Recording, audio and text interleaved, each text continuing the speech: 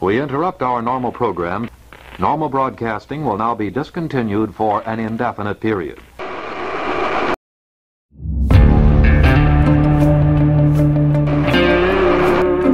This station will continue to stay on the air throughout the alert period bring you authentic information. Telephone service to your home may be cut off. If you can plug in your radio in the basement, take it with you. Use a portable radio set if you have one.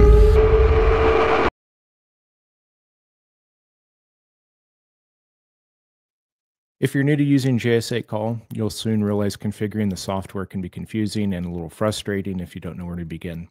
So I wanted to do a quick video sharing the JS8 Call settings I'm currently using with my Yaesu FT710.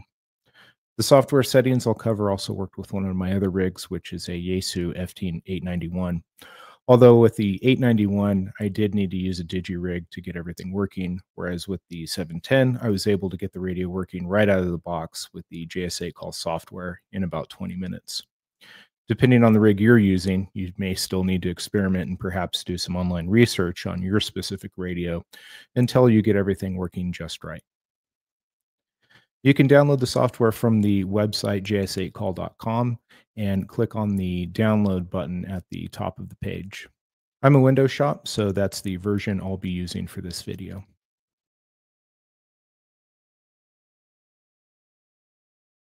Out of the box, the 710 is easy to set up, and to get started, you can use the preset data modes by either using the touchscreen or short pressing this mode button. And either method will display a pop-up and I'll show you how to get into the mode settings. So I short press the mode button and you can see the uh, pop-up or you can just use the touch screen and then you can long press this preset button and then a preset menu will uh, appear. And you can use the function button to scroll through any of the settings. And anything in yellow is default. Anything in white are settings that I've changed. So all I've changed on this one is the name of the mode. And you can just back out of there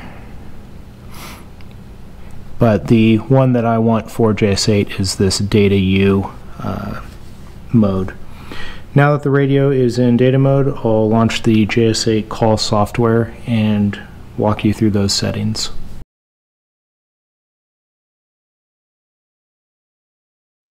If you don't know what JS8 call is, from a high level, it combines a weak signal mode with a messaging and network protocol for weak signal communication and allows you to send and retrieve messages keyboard to keyboard. Before I get into the software settings I'm using for my 710, if you're interested in taking a deep dive into JS8 Call, there's an excellent video by the YouTube channel Ham Radio Made Simple. And the guy that runs that channel does an excellent job of going into detail about the software.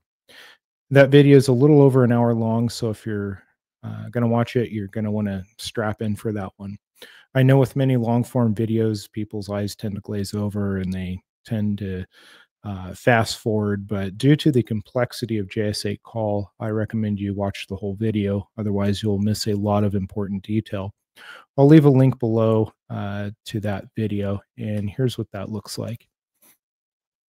So on his channel, you scroll down, and like I said, I'll leave a link, but it's titled JS8 Call from A to Z covering the basics to advanced settings in one video. And so he talks about the settings and then what he'll do is he'll provide a demo where he walks you through uh, everything that he just talked about in the software. But for the purposes of this video, it's not a deep dive. It's for those who might be looking to compare notes specific to the FT710 so they can get up and running. Okay, I've got my settings open and I'll start with the behavior tab. Uh, I have everything selected except for receiver off at startup, transmitter off at startup, and then I've deselected the reset band activity. Over on networking and auto reply, I have allow heartbeat transmissions outside of uh, heartbeat subchannel Uh, and then I have pause heartbeat transmission while in QSO selected, and then uh, turn auto reply on at startup. Over on the radio tab, for my rig, I have the Yaesu FT DX101D selected. And then I have the radio button for cat selected, data packet, and rig all selected. On the cat control, I have COM port 7 selected because that's the COM port that my computer is using. Yours might be different. Uh, data bits are set to 8. Stop bits are set to 2. And then I have my handshake set to hardware. On the audio tab, I have my USB audio device set for my microphone as well as for my speakers.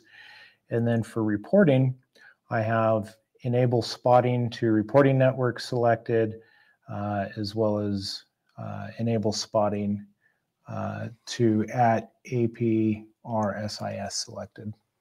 Under API, I've got allow setting station information selected, and I have all four of these boxes checked as well. Uh, nothing really for frequencies and nothing really for save messages.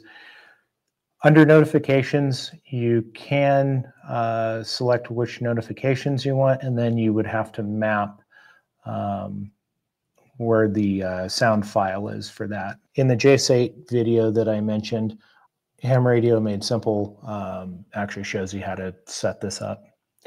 In the menu under mode, I have JS8 set to slow. You don't have to run yours at that. That's just what I'm doing. You can run yours at normal if you want or fast.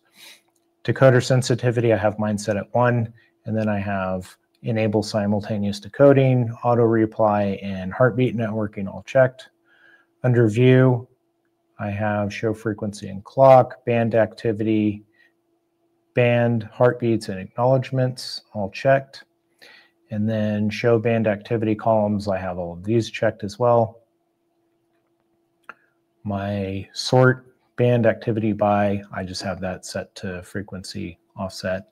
And then I have my show call activity checked.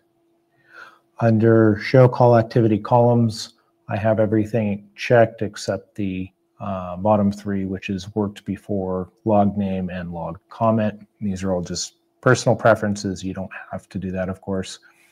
Uh, and then I have my sort call activity by call sign show waterfall, show waterfall controls, uh, status bar, and uh, I do show my tooltips. Under control, I have enable receiver. I don't have my transmitter selected at the moment. And then I have enable reporting selected.